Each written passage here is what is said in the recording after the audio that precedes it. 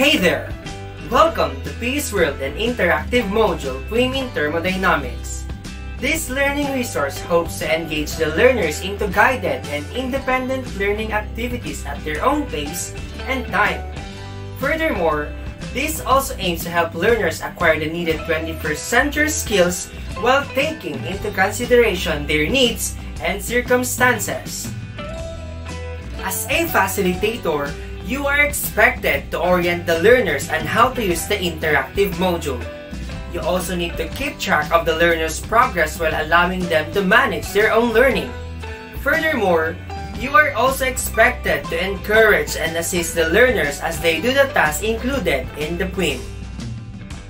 The PWIM was designed to provide you with fun, interactive, and meaningful opportunities for guided and independent learning at your own pace and time you will be enabled to process the contents of the learning resource while being an active learner.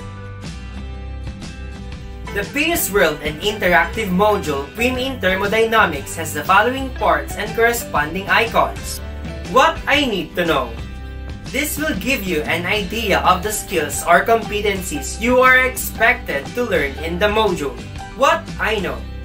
This part includes an activity that aims to check what you already know about the lesson to take. What is it? This section provides a discussion of the lesson. This aims to help you discover and understand new concepts and skills. What's more, this comprises activities for independent practice to solidify your understanding and skills of the topic. Assessment this is a task which aims to evaluate your level of mastery in achieving the learning competency. Additional activity. In this portion, another activity will be given to enrich your knowledge or skill about the lesson.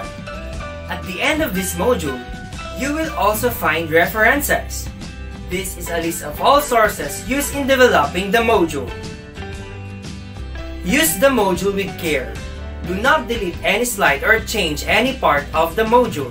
Don't forget to answer what I know before moving into the other parts of the module. Read the instruction carefully before doing each task. Observe honesty and integrity in doing the task. Finish the task at hand before proceeding to the next. Save the PWIM when you are done and give it to your teacher or facilitator. When you click the PWIM button, it will bring you to the next slide.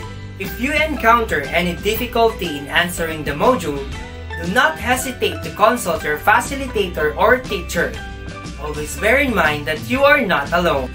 I hope that through this material, you will experience meaningful learning and gain deep understanding of the relevant competencies. You can do it!